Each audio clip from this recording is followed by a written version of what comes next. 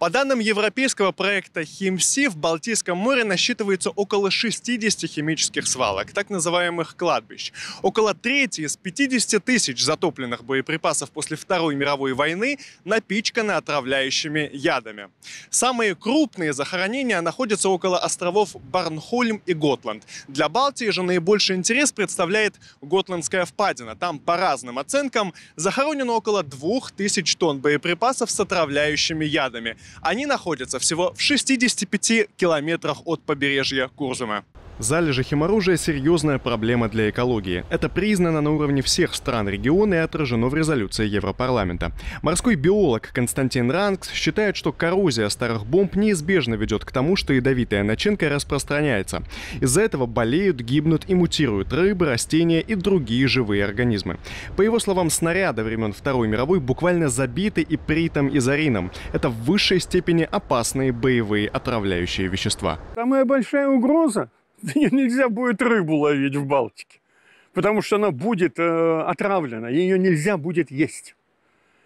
А это же огромное количество людей. Понимаете, что такое, когда вам скажут, что это в этом э, море э, плещется иприт или какие-то другие вещества? Вам могут сколько угодно. Знаете, это как история с радиацией.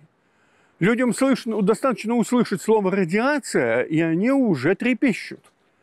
И вы можете сколько угодно уверять их, что это вполне нормально, и что на пляже в Бразилии она может быть, эта радиация в 20 раз выше, а там все прекрасно себя чувствуют.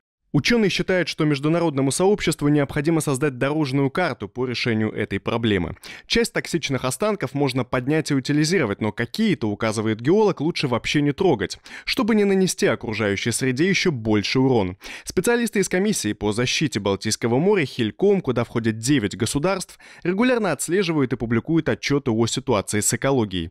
По данным экспертов, в последнее время залежи химоружия вызывают больше беспокойства. Об этом нам сказал профессор морских исследований Клайпецкого госуниверситета Сергей Оленин. Есть данные о том, что э, повышенное содержание мышьяка находится вот э, уже вокруг вот этих вот э, свалок, да, э, ртути, то, что содержалось э, в боевом отравляющем веществе. И это, конечно, большая проблема.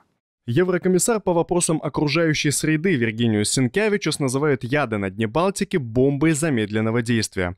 Он убежден, что в ситуации с химоружием нельзя полагаться на волю случая.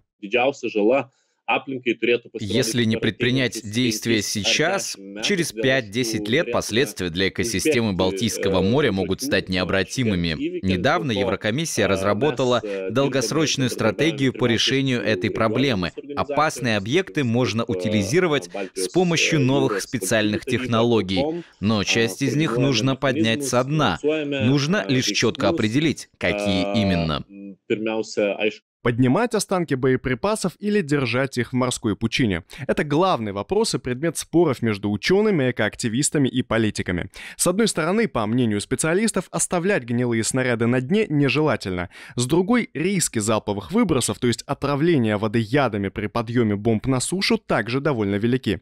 Биолог Сергей Оленин предлагает компромиссное решение. Когда раздаются призывы его убрать, это химическое оружие, тут надо понимать, что нужно иметь технические средства для этого. То есть его просто так какой-то там драгой э, поднять начерпателем и э, положить на палубу судна, это так не получится. Еще хуже будет, потому что оно начнет разваливаться, э, смешиваться еще с водой, пока его будут поднимать. Именно поэтому, говорит ученый, нужны совсем другие технологии. Например, подводные роботы. По его словам, в теории они могли бы на дне поместить оружие в капсулы, после чего его можно было бы поднять и утилизировать. Денис Кишиневский, Ота Айлдс, «Настоящее время. Балтия».